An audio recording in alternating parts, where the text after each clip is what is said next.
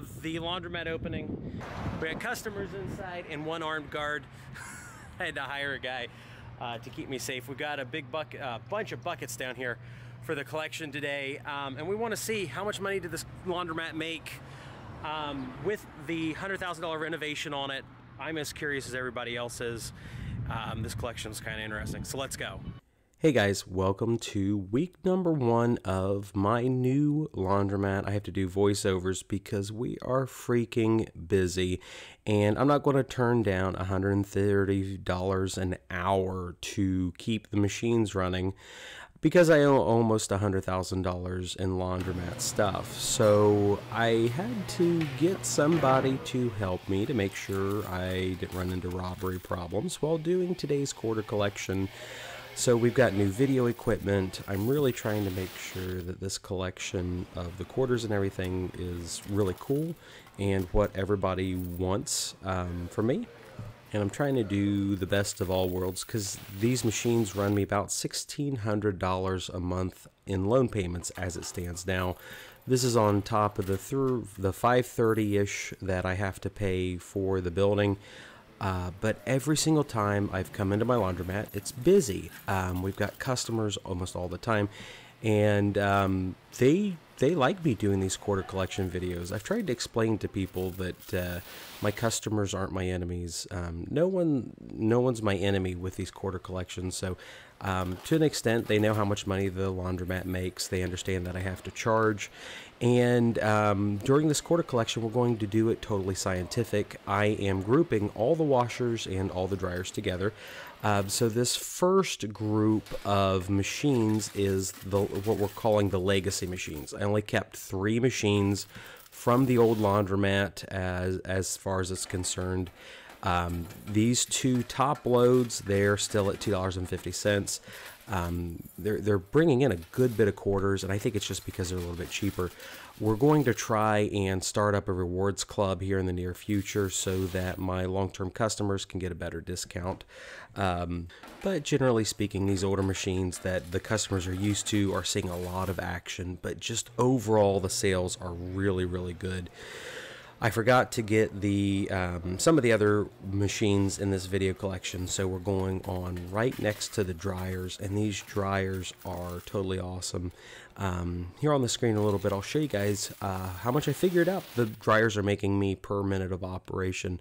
It's pretty cool, but long story short, we've got to keep these dryers running, all the machines running as often as possible. So if that means not to stop uh, the customers doing laundry during a quarter collection video, then that's what it's going to be. I kind of had to um, be very creative about this and only grab money from the machines while they were kind of standing away. Um, it's not that they don't like me; they let my customers love me for the most part, and they understand this is just part of the business, and I have to make money to keep the doors open. So we're all friends here, which is good. But uh, the dryers have been super, super popular. They hold more clothes, they get clothes drier, and they do it quicker and the customers just can't believe that I want them to get their laundry done quickly. Um, it's totally amazing, and it's funny with these dryers here because as we start from the left and go towards the right, they have less and less money. Um, that first one probably had 50 bucks in it, which is cool um, just based off of the weight. Um, we're trying to be as scientific as possible during these collections. We are going to get uh, data and analytics equipment, and we'll be able to run everything to a spreadsheet and do collections or data and analytics on the machines with Excel. Um, I should be able to live stream them and just show the quarters coming in. Um, but this is uh, security footage right here of just different parts of one day there were customers very much in. Every one of those dryers is running. They make me uh, 25 cents for eight minutes a piece. That's $22.50 an hour of money that those dryers make. And so we're trying to figure out how to double our dryer capacity because three times on Saturday, every single dryer was in use. And um, I like seeing the machines busy and being used. But if the dryers are at full capacity, then people have to wait. Um, I've already met with one of my engineering guys to figure out how to knock some walls down and double the dryer capacity. So we're taking our bucket. Um, I had to call in the big guns on this one. Um, not literally, that's just figuratively. Oh, we have two machines here. We're really trying to figure out whether we're keeping two machines here, one machine, or getting rid of them. I will be honest with you guys, if we have break-ins like we have had in the past two years, I'm getting rid of the quarter pusher. See, I have customers here. We During this machine, I am making um, like 45 bucks this hour. And this machine here is our large format washer. It's almost, uh, it's right around a $10,000 machine. And it is freaking just packed full of quarters. Um, it's kind of a gamble. All this equipment's a gamble. Um, I talked to Danny D'Angelo, who's the king of laundromats. Um, he gave me some really great advice, and we've tried to implement most of his ideas here. Some of them have just been hard to do um, logistically, uh, but we're keeping quarters. We're not going to go to a card-based um, system. Um, like we're always going to take quarters here. It would hurt the YouTube channel, of course, but we're really excited about all this stuff. And Danny gave us really good advice uh, on it. And I think that we're on our way to profitability. So each group of machines is going in its own buckets. That's kind of the advantage of having a car wash. I now have infinite buckets, as you guys have seen in some of my other videos. So that we've got a Lowe's bucket. And we're going to go through here and we're going to get money from my large washers. We've got some front load washers uh, that, that are really small capacity. Um, we've got some medium front loads. Um, these are the larger front loads, and then we have the gigantic one. Um, these dryers are rated in poundage, and these are 30 pound machines. To the right of that, with the 2X, you can see that's a 20 pound machine. And then your regular household washer is a 10 pound machine. So the big giant one we did a collection on earlier that holds 60 pounds of dry laundry which uh, for my family could do about four days worth of laundry in one load because my family is filthy. Anyway, um, those those two machines didn't have many quarters in them, uh, but we go back here to these, and um, they've got a decent bit of quarters. Um, I think a lot of my customers are just trying to get used to how all the new machines work. I'm really excited about how much that gigantic one made. Um, you know, I'm trying to make wise decisions here. Um, I really don't want to offset the laundromat money with my YouTube videos because I feel kind of it's dishonest. Um, Dexter was really good to me regarding these machines. Um, the way the laundry industry works is you have to call a local distributor. They install the machines. They um, service them for you, but then the factory makes them. And one of the neat little things, there's my scientific um, Internet of Things tag. Um, I bought these high tech tags uh, to separate the quarters, and each bucket there has its own um, tag on it. But uh, to show you guys how small of a world uh, we live in, all these two uh, 2X, the 20 pound washers here, I know the guy that made them. He lives in Iowa. His name's Danny.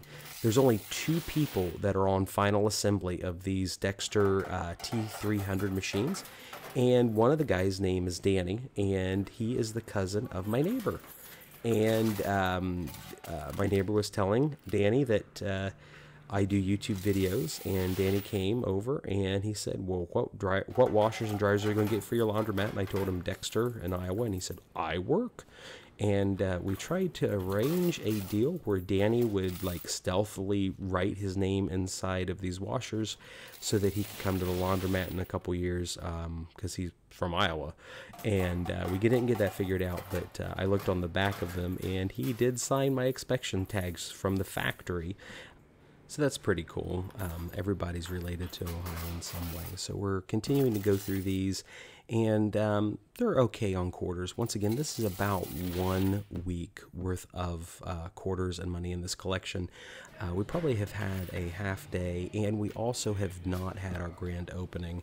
I'm still struggling to understand how these washers and dryers are programmed. They all take USB keys, and then um, I just put my camera down to try and uh, speed things up a little. At this point, I'm getting tired because I actually waited around the laundromat for four hours to do the collection without anybody in it. I just, I just honestly gave up and decided to do it with everybody in the laundromat. Um, look at all those delicious quarters, but it's not too many because um, I think people don't understand our new seating arrangement here at the laundromat. Um, so as I go through these, I'm taking the buckets back into my office, which is actually now connected to the laundromat. You don't have to go outside. You just open up a door with a magical key. There's another high-tech Bluetooth IoT tag, and um, over the coming months, I'm sure we're going to dive into the finances and the money situation with the laundromat more because, you know, it's a neat thing that I've been able to start this laundromat uh, with almost no money out of my own pocket. I even try to avoid offsetting the money from the YouTube channel. So here is the change machine. We have kept it, but I did put a bill stacker in. It was making Danny mad, and I it's a wonderful decision because look at all that money. I have customers here. I've got to get in and out of this machine as quickly as possible. Um, they actually stepped outside for like two minutes to go do something, and I reached in and grabbed this ginormous stack of money. This is by far the most bills that we've ever collected out of the laundromat, which is awesome for like a, a, week, maybe eight days of collection. And I have to look here in the hopper, and it's almost out of quarters. It's nice that it's almost out of quarters, but I also run the risk of running out, someone putting a 20 in, and then they get no quarters. So this is very enjoyable. Um, I have to sort money for my car wash just like this you get a nice um, organized stack of bills and then you spend the next five ten minutes organizing and uh, differentiating your ones fives tens and twenties because i'm too cheap to buy the machine that uh, counts the different or determines the difference between the ones fives and tens. They're $2000 my bill counter is like 200 bucks. So here we go. I'll speed it up a little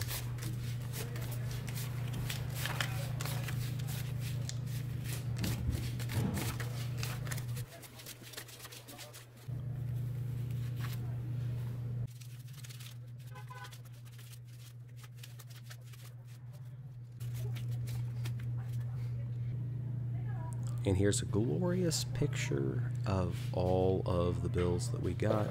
And of course, I've got my $200 bill counter from Amazon here with me. But let's count the quarters uh, first. I apologize because the um, audio quality really sucked. This is a $300 microphone, it's brand new. Uh, the first quarter group that we're going to count are the legacy machines, the five machines that carried over from the old laundromat.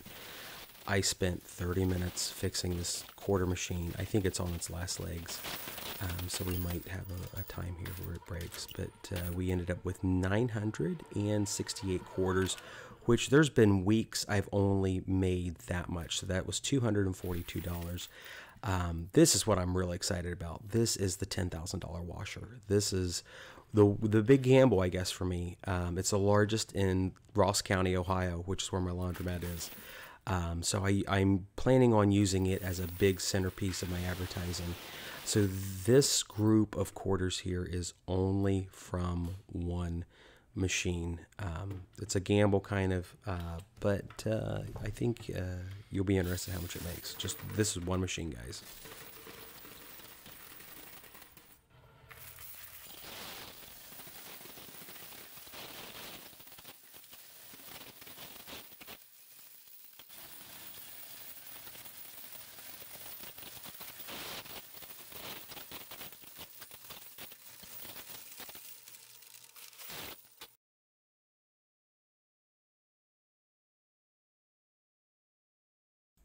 So we end up with 565 quarters.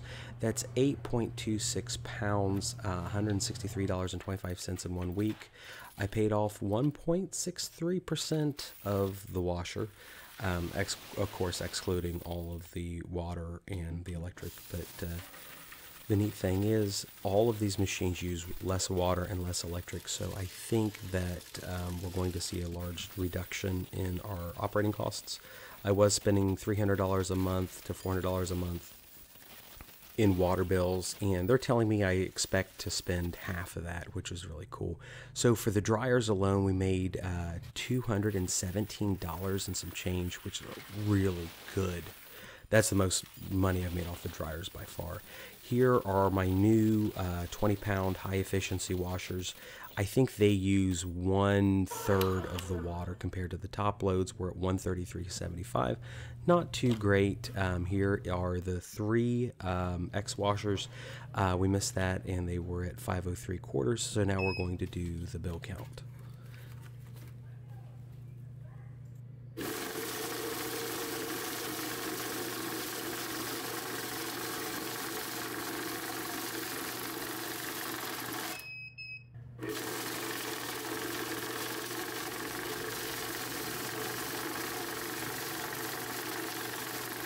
And here I have endless problems with machine, this machine so there's just tons of editing. And we have to end up counting each bill in its own denomination. Um,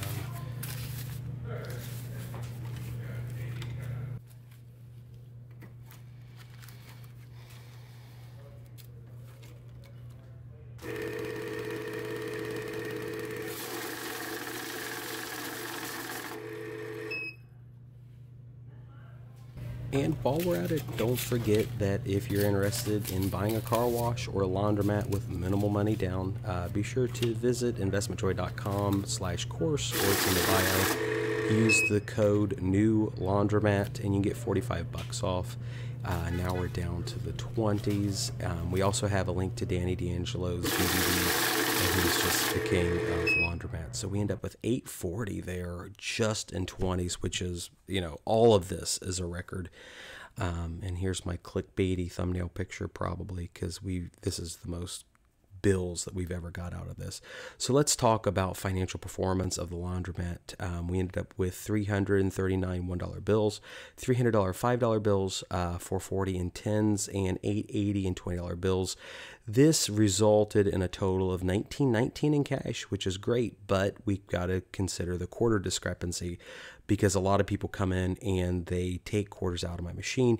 Here's for the 2X, 3X big washer, uh, the dryers, and the legacy washers at 242. We have a little over a $1,000 in quarters, but we're going to have to do another video next week to see how much is in my other machines. So thanks for watching, guys. Make sure you like and subscribe. I appreciate every single one of you. Make sure to comment if you have a question about the video.